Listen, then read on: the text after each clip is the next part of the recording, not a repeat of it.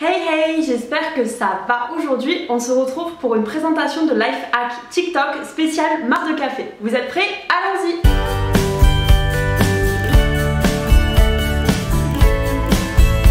Alors, comme vous le savez, j'essaye d'acheter au minimum des produits qui sont déjà faits et j'essaye au maximum de faire mes produits moi-même. Et l'avantage du marc de café, c'est que vraiment j'ai pu remplacer énormément de produits, euh, entre autres le gommage, tout ce qui est après shampoing, tout ce qui est anti-cerne, parce que oui, oui, là je ne suis pas maquillée et j'ai bien des cernes, hein, merci. Et pourtant je dors bien, hein, ça n'a rien à voir. Bref, peu importe, on s'égare. Du coup, le marc de café, j'ai commencé à en récupérer il y a quelques années, tout simplement, bah je fais mon café et après bah, je récupère le marc de café, c'est logique. Je sais qu'on peut aussi en récupérer dans les capsules. Euh, nous, on n'a pas de machine à café à la maison, donc du coup, on pourrait pas en récupérer dans les capsules, mais si vous avez une machine à café chez vous, vous pouvez tout à fait récupérer le café dans les capsules après vous avoir fait votre café bien évidemment. Du coup, vous laissez sécher le marc de café, euh, moi il sèche dans un petit sachet et ensuite je vais vous montrer tout simplement des petites recettes que j'ai trouvées sur TikTok mais que j'ai effectuées déjà avant et on va les tester tous ensemble. C'est parti Alors bien entendu je vais vous mettre les recettes juste ici, il n'y a pas de raison que je puisse les regarder et pas alors première recette, on va fabriquer un petit pain de marc de café, un pain, vous savez, un, bloc solide, euh, un pain gommant, je sais pas comment mieux le dire, un pain qui va gommer la peau. Euh, donc du coup sur la vidéo, elle le frotte sur ses cuisses tout simplement et, euh, ensuite elle nous montre la préparation. Voilà, avec de l'huile de coco. L'huile de coco c'est aussi super bon pour les cheveux. N'hésitez pas à me dire si vous voulez que je fasse une vidéo spéciale huile de coco parce que je l'utilise aussi tout le temps, que ce soit dans la cuisine, que ce soit euh, bah, pareil en produit de beauté, j'adore. Ok, bah du coup c'est parti, on va préparer les petits pains gommants. Alors du coup pour la première recette, huile de coco, café, j'ai déjà prévu euh, le petit fouet, euh, la petite cuillère et bah c'est parti Du coup elle prend deux cuillères à café, deux barres de café, du cuillère à café, de café et une cuillère à café d'huile de coco. On va dire que c'est une cuillère. Hein. Alors moi j'avais pas de petit pain en silicone, elle, elle a pris un petit pain en silicone. Ok, ça va être clairement pas pratique de le faire directement dans le moule, donc je vais le faire dans un bol un petit peu plus gros pour pouvoir touiller et après je le mettrai dans le moule. On recommence Ok, je suis allée chercher un petit bol. Alors, on avait dit, on avait dit, hop, je sais pas trop quelle est la quantité exacte. Bah après on verra, hein. de toute manière ça va dépendre aussi de... J'arrête pas de le faire tomber. Du récipient d'arrivée. Alors, l'huile de coco, moi j'en avais acheté 1 kg, je l'ai acheté l'année dernière quand j'étais à Paris, je l'utilise souvent et euh, j'ai dû utiliser euh, genre euh, même pas, allez, un quart. Alors ce qu'il faut savoir avec l'huile de coco, c'est que en fonction du temps et de la température, elle peut plus ou moins fondre. Je sais que l'été, bah, comme là, vous allez voir. Elle est vachement... Euh, je l'ai enfoncée comme dans du beurre en fait. Et l'hiver, bah, elle est vachement plus dure. Hop Est-ce que vous allez voir Non, ça va être compliqué à vous montrer. Maintenant, je touille. Je vais essayer de vous montrer. En fait, très rapidement, ça devient, euh, ça devient pâteux. Mais je pense que l'avantage de ça, c'est aussi que justement, on est l'été et que du coup, l'huile de coco, elle est... Euh, elle est relativement liquide parce que là vraiment euh, vraiment c'est déjà prêt en fait. Finalement j'ai même pas eu besoin du fouet. Alors l'odeur du café. Alors moi le café vous savez c'est déjà mon parfum de glace préféré. J'adore vraiment le café. Et là l'odeur quand je me fais des masques euh, du coup euh, sur le visage au café j'ai envie de le manger en fait ça sent tellement bon. Pourtant autant j'aime pas boire du café mais l'odeur du café c'est vraiment super bon coup, je vais mettre ça dans mon petit récipient. Regardez-moi cette texture euh, liquide. Je pense que c'est pour ça qu'il faut le mettre au frais en fait. Parce que c'est vrai que c'est liquide et... Euh,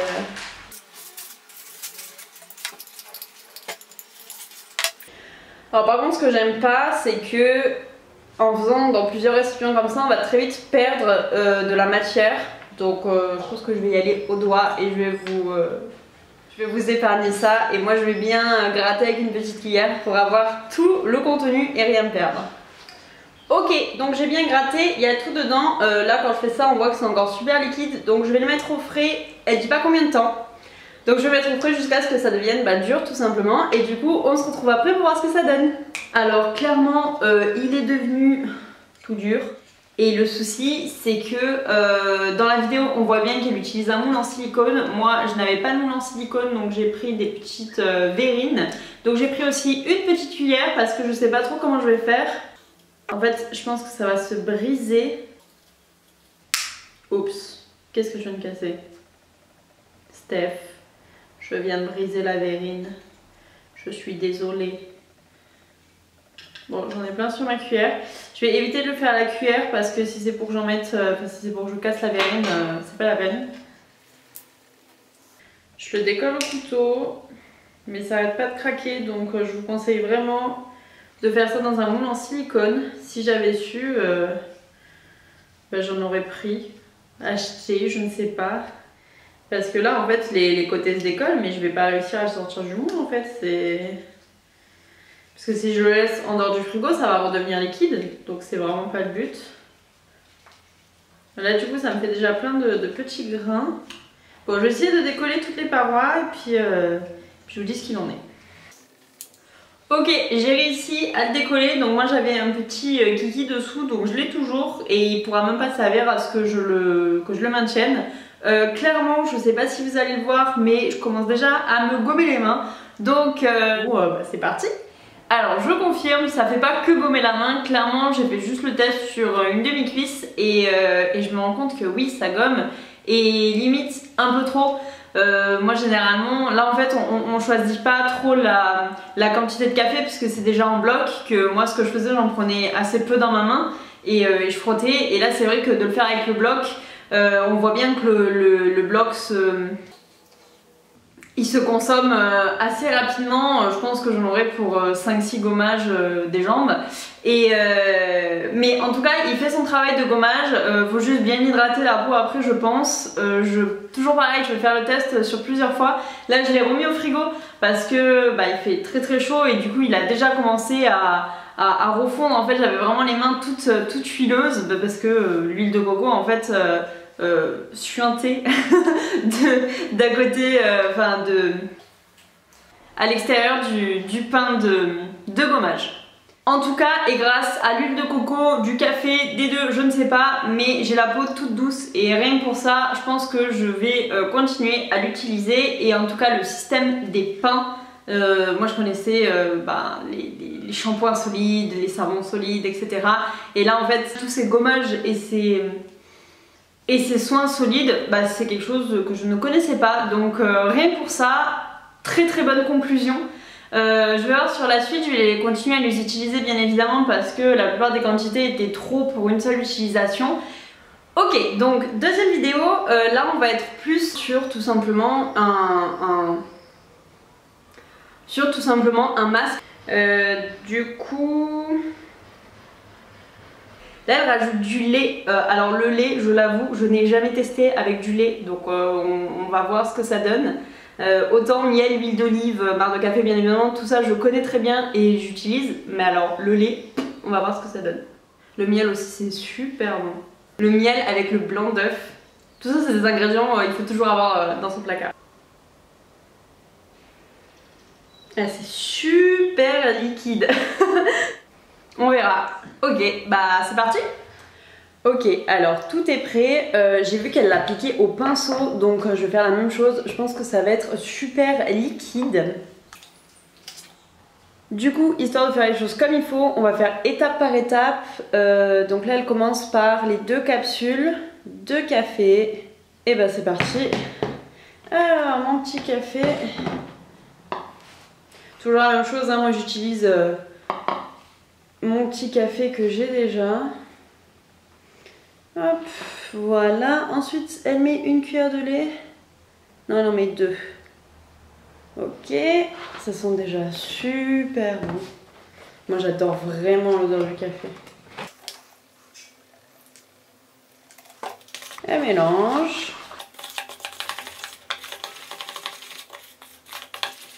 Effectivement, ça commence à devenir euh, pâteux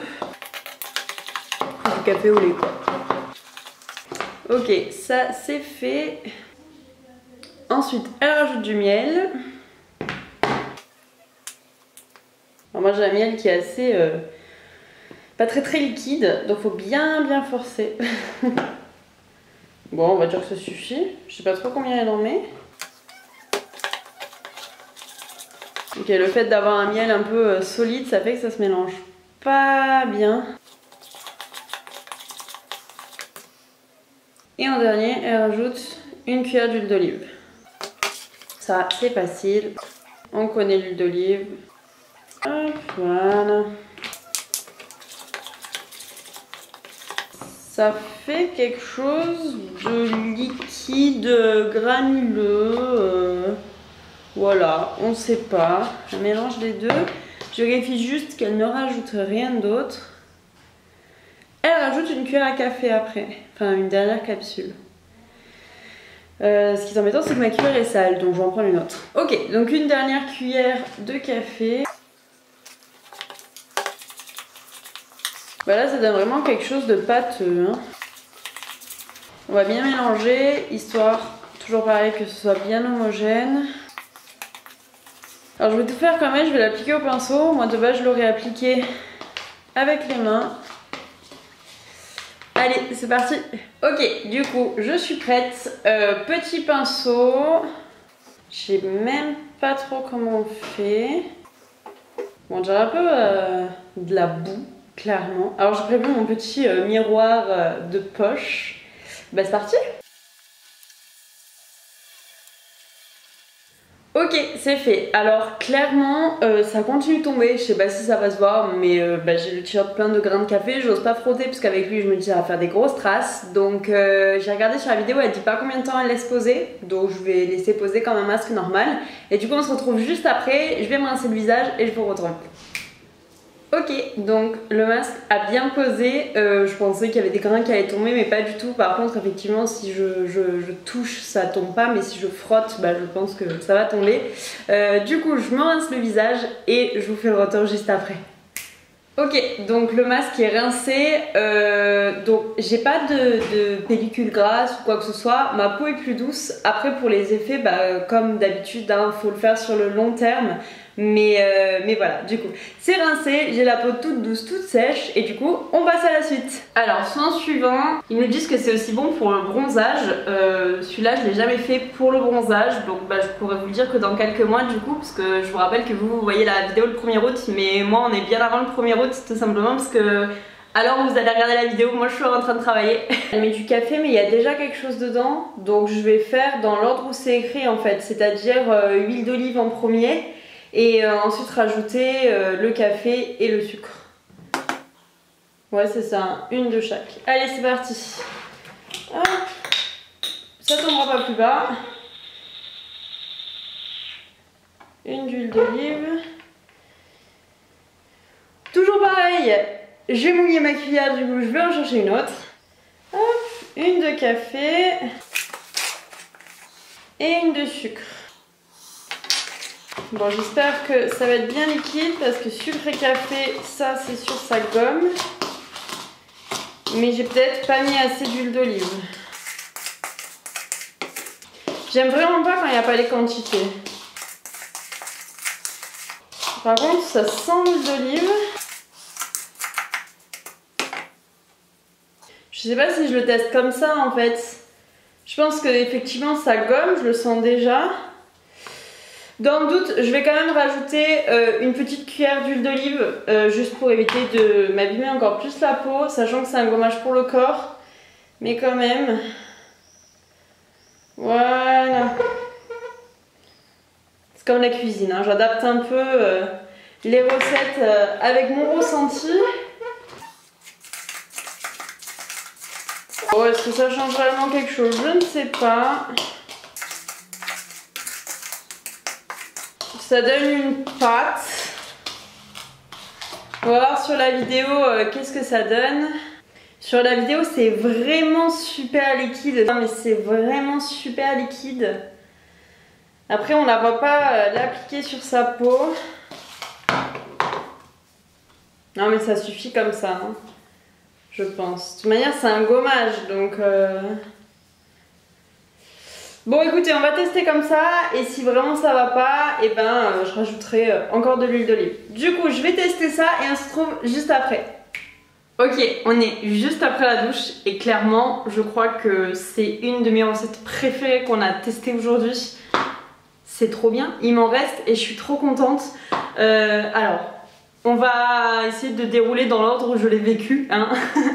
Euh, ça sent le café quand on le... Déjà, quand moi je le mettais sur mes mains, je sentais le café. Effectivement, quand je le mets sur ma peau, bah, ça sentait euh, beaucoup le café. Après, je pense que, mis à part votre chérie, personne va venir vous renifler les épaules, donc c'est pas très très grave. Ça embaume pas la pièce, mais euh, moi je le sens. Ça sent trop trop bon. Enfin, après, comme je vous l'ai déjà dit, moi j'adore cette odeur, donc peut-être que pour les nez un peu plus sensibles au niveau de cette odeur, bah faut éviter. Ensuite, le fait que j'ai rajouté une deuxième huile, une deuxième cuillère d'huile, pardon, je ne pense pas que ce soit nécessaire. Euh, je sentais en fait la, pellicule grasse euh, sur ma peau quand je me douchais. Et euh, non pas que ce soit gênant, mais, mais voilà, une cuillère ça aurait suffi parce que vraiment ce qui va gommer c'est les grains de café, les grains de sucre. Parce que bah, justement c'est comme le sel d'ailleurs, c'est ça qui va désincruster les saletés. Mais vraiment, j'adore ça, je le referai, je valide euh, et, je suis très contente de l'avoir découvert parce que moi de base je faisais ça avec du café uniquement. On rajoute du sucre déjà donc ça rajoute un effet gommant et euh, je sais que l'huile d'olive a aussi énormément de propriétés sur la peau. Donc, euh, donc non, franchement, tip top, je le garde, j'en refais. Ok, donc prochaine vidéo, c'est une vidéo qui lisserait la peau, qui aiderait à enlever les points noirs, etc. Donc euh, bah moi j'en ai besoin. Pour cette recette, il faut juste du café, de la farine, du citron, ça tombe bien. J'ai tout ça, c'est parti, on y va. Ok, du coup, une cuillère à soupe de café, une cuillère à soupe de farine et trois cuillères à soupe de citron. Il y a beaucoup de citron quand même, je trouve. Euh, pour moi le citron, c'est vrai que c'est assez euh, agressif. On va voir ce que ça donne. Une de café, une de farine.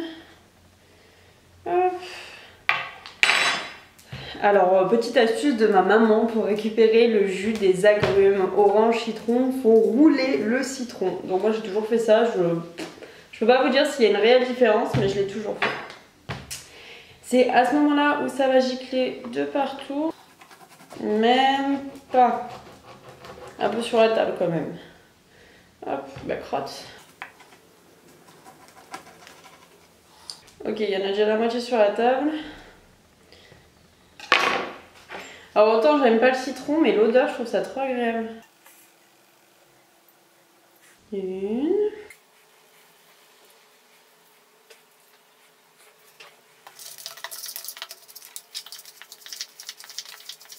Bon, je pense qu'il n'y a clairement pas assez de citron. Ça fait des espèces de, de petits copeaux. On va regarder ça elle c'est beaucoup plus liquide. Je vais rajouter du citron. Je vais essayer quand même de viser la cuillère. Du coup je rajoute une quatrième cuillère de citron. Hein. Bon, il y a tous les pépins, j'essaierai de les enlever quand ça fera une pâte liquide. C'est censé faire une pâte liquide. Voilà, il en restera même un tout petit peu dans le citron pour donner un petit goût au poisson. voilà, ça commence à devenir un peu plus pâteux. Bon, bah, je vais mettre euh, le demi-citron hein, parce que clairement... Clairement, sinon, ce n'est pas liquide et je vois pas comment je peux euh, appliquer ça. Clairement, il n'y a plus de citron.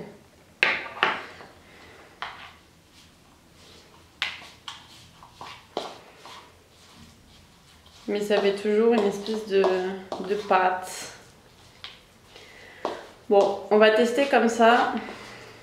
N'hésitez pas vous aussi à faire les recettes et à me dire dans les commentaires euh, ce que ça donne sur vous parce que je suis peut-être juste très très nulle. J'avoue que le citron j'ai jamais fait. Ah mais en fait c'est déjà mieux, ça ressemble déjà plus à la vidéo. En fait ça fait une pâte mais on peut euh, relativement bien la travailler. Bon c'est pâteux hein, quand même. Qu'est-ce qu'elle fait avec la pâte? Étaler un mouvement circulaire. Laisser poser 15 minutes et rincer à l'eau tiède. Ok, je vais chercher mon bandeau et on va étaler ça sur le visage. J'arrive. Ok, du coup, là c'est parti. Bon, C'est une pâte, pas de doute. Hop, j'ai plus besoin de la cuire non plus. Vraiment, il va avoir des bouts de... Comment on appelle ça Des pépins de citron hein, sur le visage.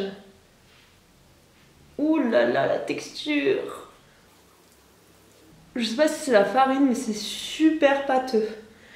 Clairement, je vais pas me servir, là j'en ai pris beaucoup trop. C'est pas désagréable, mais euh, c'est vrai que je m'attendais pas à ce que ce soit si pâteux. Pareil, hein, j'ai l'impression que ça tombe à chaque fois. Bah voilà. Alors sur la peau, je sens euh, beaucoup plus le café que le citron. Clairement, l'odeur du café est, est plus présente. Bon, comme d'habitude, j'en ai partout sur mes doigts. Ok, je vais aller me rincer les mains et du coup on se retrouve dans 15 minutes. Ok, on est 15 minutes après, je peux plus du tout bouger, c'est complètement sec. Ça me dérange d'ailleurs, j'ai l'impression d'avoir, euh, vous savez, le, maquillage en relief dans les cinémas. Je vais aller me rincer parce que clairement ça me fait mal quand je parle, ça tire de partout et on se retrouve juste après. Je peux même plus s'ouvrir. Ok, je ne sais pas du tout ce qui n'a pas fonctionné déjà dans la préparation de la recette ou, euh, ou dans le fait de l'avoir fait poser, etc. En tout cas, ça ne fonctionne pas. J'ai extrêmement galéré à... parce qu'en fait, ça faisait des, des pâtés sur mon visage. Et, euh, et même avec de l'eau tiède, j'ai même mis de l'eau chaude pour que justement ça ça va se fondre un petit peu ces pâtés. Euh, en plus, c'est super irritant. Euh, là, clairement, euh, je me touche la peau, j'ai pas le résultat que j'ai pu avoir avec, d'autres astuces. Donc celle-là, je ne la conseille pas, je ne la conseille encore moins à des peaux fragiles, à des peaux sensibles. pourtant, il m'en reste pas mal, hein, mais clairement, je, je sais pas j'ai peut-être mal fait quelque chose, n'hésitez pas à me dire euh, juste en dessous, vous, qu'est-ce que vous en avez pensé si vous l'avez fait chez vous. Mais, euh, mais pour moi, en tout cas, ça ne fonctionne pas. On passe à la suite. Ok, donc dernière petite vidéo, euh, là c'est pour un masque pour les cheveux et en fait il va falloir que je le pose donc bah, vous aurez tout simplement la réponse dans quelques heures.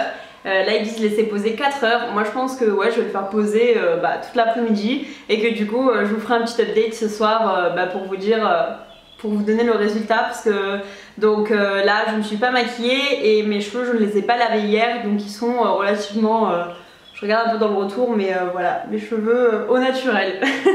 mais désolé, c'est fait pour la vidéo, hein, il faut bien que je puisse les tester. Allez. Ok, donc là, on passe pour le masque pour les cheveux, donc du coup, euh, bah, du coup on va laisser poser ça 4 heures. Euh, du coup, donc il faut... On va remettre Du coup, il faut 4 cuillères à soupe euh, de café, un œuf et l'huile de coco. Du coup, c'est parti. Alors... Alors moi ça fait des espèces de petits pâtés là, de petits blocs de café. Voilà, mais sinon il est vraiment super, super fin. Deux. Faut pas que je parle sinon je vais perdre le compte. Même pour 4, je suis susceptible de perdre le compte. 3 et 4. je, je, casse vraiment ces espèces de grosses boules là. Voilà.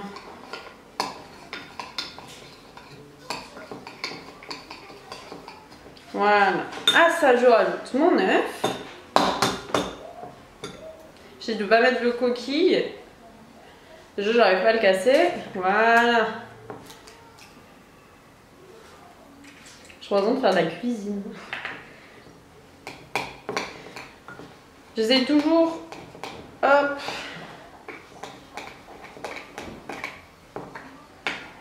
Bon, comme avec l'huile de coco, on voit que ça va devenir liquide.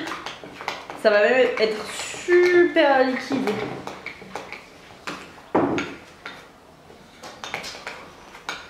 Euh, clairement, si je mets ça sur mes cheveux, ça va tomber. Il va falloir que j'enveloppe mes cheveux.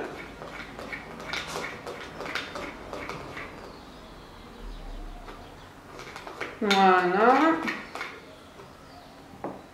C'était une mauvaise idée, il faut que je rajoute une cuillère à café d'huile de coco. Du coup, je vais chercher une autre cuillère pour ajouter une cuillère. En fait, j'ai une cuillère, mais je sais pas trop, elle a pas précisé les quantités. Mais euh, là, c'est déjà suffisamment liquide, donc je vais mettre une cuillère d'huile de coco. une cuillère propre, une cuillère d'huile de coco et maintenant, hop, c'est reparti, on va touiller. Ça par contre c'est plein d'huile de coco.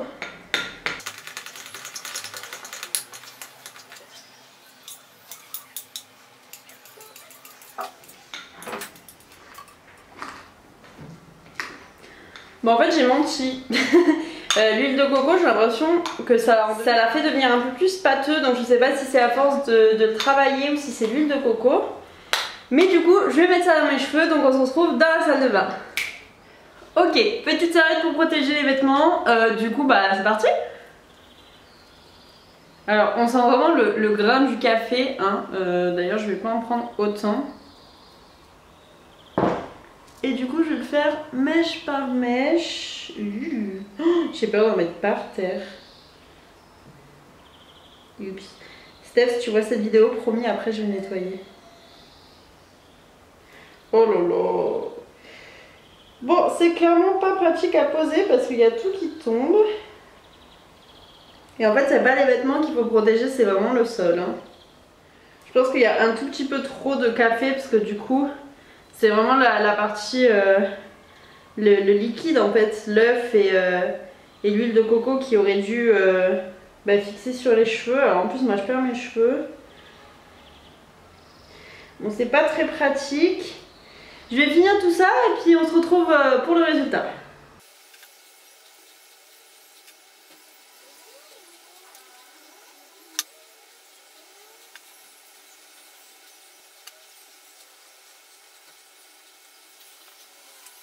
4 heures plus tard, alors euh, déjà ce que j'ai à dire c'est au moment où je l'ai posé, je sais pas si vous l'avez vu mais en fait bah, le, café tombe, enfin les, grains de café tombent.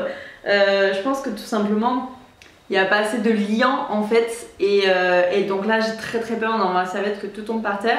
Donc je me suis pas encore rincé les cheveux. Bah, je vais le faire juste après mais déjà je vais, je vais vous montrer ce que ça donne.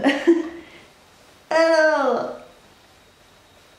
oh là là bah d'accord ah, super ils tiennent tout seuls alors, alors ça sent le café mais en fait bah ça a complètement euh, alors voilà c'est très pratique si vous n'avez pas de lac bon, je vais aller me rincer les cheveux et je vous montre ce que ça donne juste après. Bon, ils sentent bon. Bon, par contre, pareil, hein, le café. Euh, je vais me rincer les cheveux, on se retrouve juste après. Ok, donc je viens de me laver les cheveux. Euh, alors, je vais vous faire mon petit retour.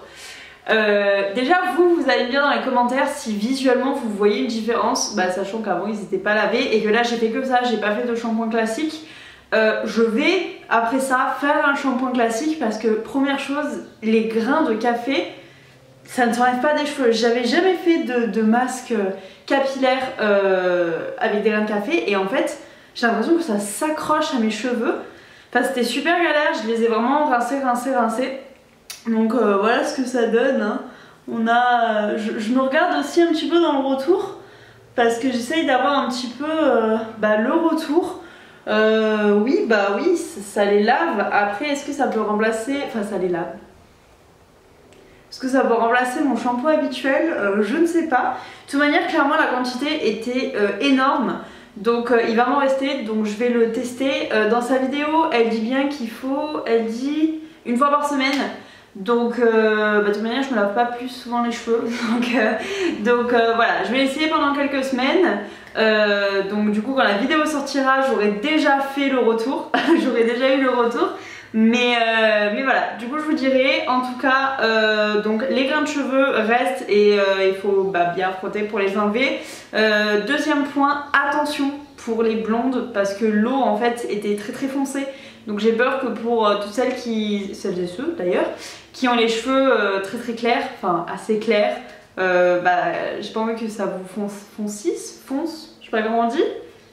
J'ai pas envie que vos cheveux deviennent plus foncés à cause de ça, parce que euh, bah oui, ça reste du marge de, café.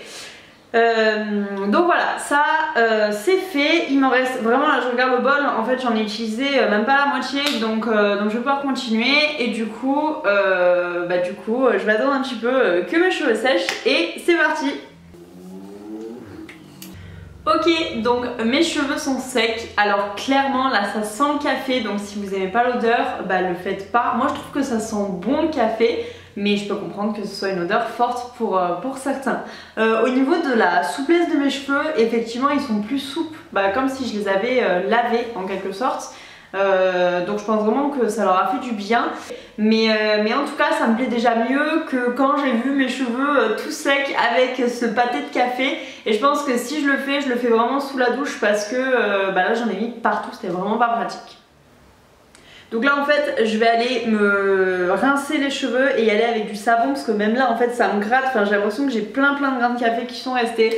Donc je vais rincer les cheveux avec euh, du shampoing et on se retrouve juste après pour le life hack suivant. Ok, donc gommage pour le visage, là il nous faut une cuillère à café, du citron, du sucre et de l'huile. Je vais mettre une cuillère de chaque et puis euh, de toute manière ils disent pas plus, donc euh, c'est parti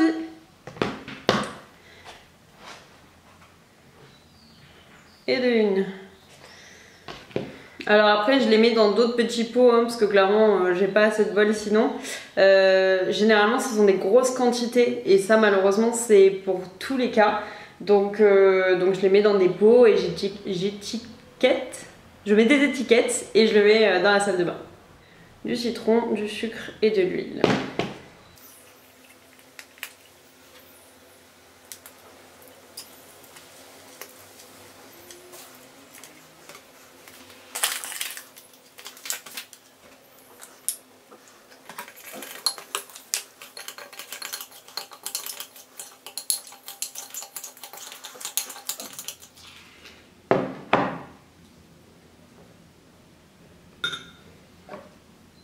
Mon petit miroir.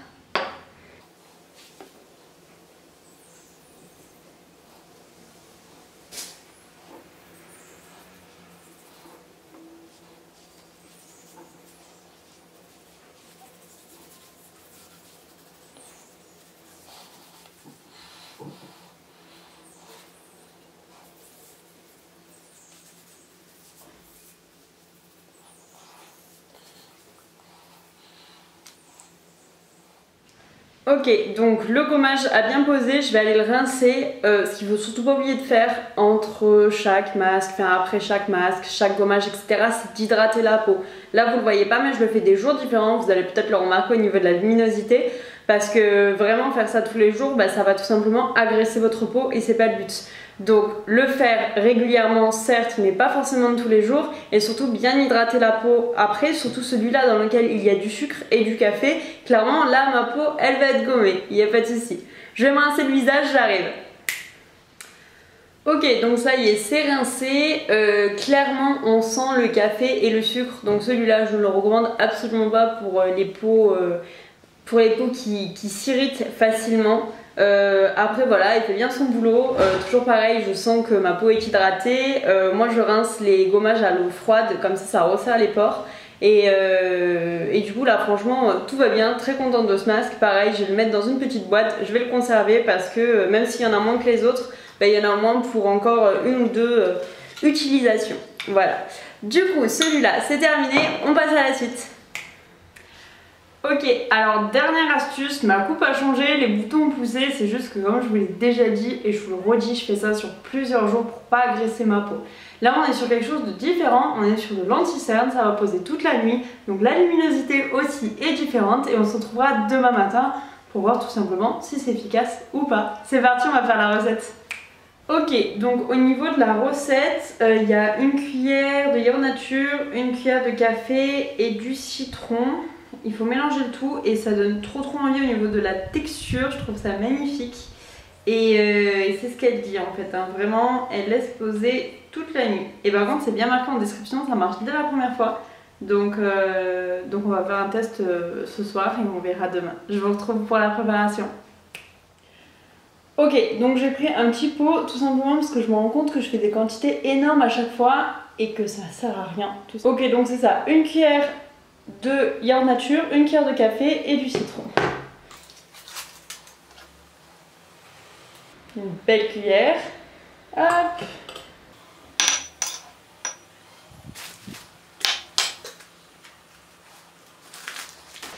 et un de citron. J'en mets de partout. Bon, j'espère que ça va suffire. On va mélanger, on va voir ce que ça donne.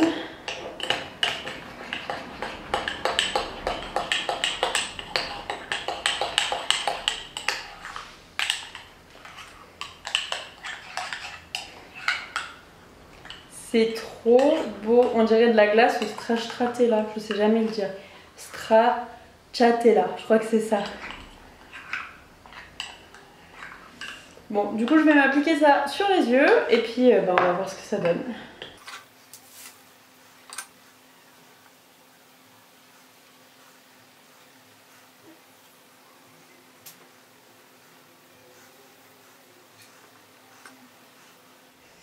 Ok, je m'en suis appliquée sous les yeux, ça commence déjà à couler, du coup je vais me les mains, je vais dormir et on se retrouve demain matin pour voir ce que ça donne. Allez, bonne nuit Ok, alors on est le lendemain, clairement ça a séché, ça a commencé à me gratter. En fait j'en ai mis euh, un peu trop sur le nez, je pense, euh, et, du coup il y en a la moitié qui est tombée.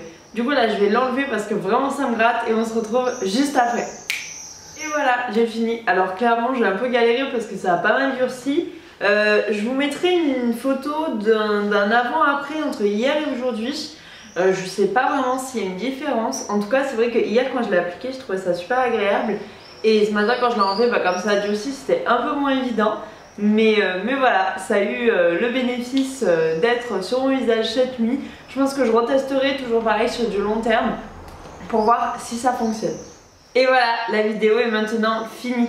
N'hésitez pas à me dire en commentaire si vous avez testé des recettes, si ça a marché pour vous et si vous en connaissiez déjà avant. Je suis vraiment super contente d'avoir fait ces recettes déjà pour moi-même parce que bah, de base j'utilise le café pur et là je sais qu'en rajoutant plein de trucs j'ai fait d'énormes découvertes et aussi pour vous, pour vous partager. Je sais que vous aimez beaucoup quand je vous partage des astuces que je fais pour faire des produits maison. Du coup voilà, aujourd'hui c'est chose faite, vous avez une vidéo entière avec un seul ingrédient principal. N'hésitez pas à vous abonner à ma chaîne YouTube, d'activer la petite cloche et vous avez mon compte Instagram en barre d'infos. N'hésitez pas à y aller, vous le savez, je suis beaucoup plus active sur Instagram. Je vous fais des bisous et je vous dis à bientôt dans mon monde